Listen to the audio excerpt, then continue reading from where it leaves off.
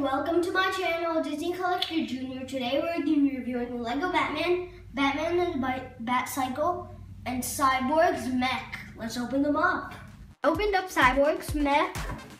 His feet go up and down. And here's a cannon that I already attached. When you turn this, the ammo will turn and so will the turns. It's a machine gun. And here's a shield. To make them both go down, you press this.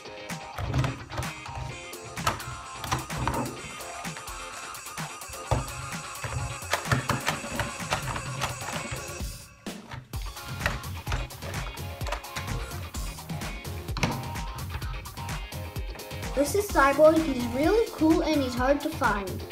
He can sit down His arms will go up and sideways.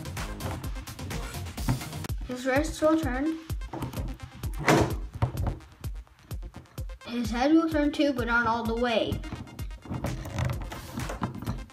Put Cyborg into his mech. You have to make him sit, then open the cockpit and slide him in.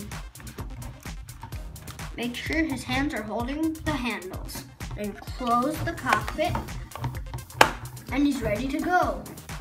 So I opened up the Bat Cycle. It comes with this very cool missile with a face on it. There's yellow eyes. It's pretty long and the shape's pretty cool. And to load it in, you have to load it in right there. And it comes with this Batman, new one make him sit down, you have to do, you do this. Slide his arms into the handles.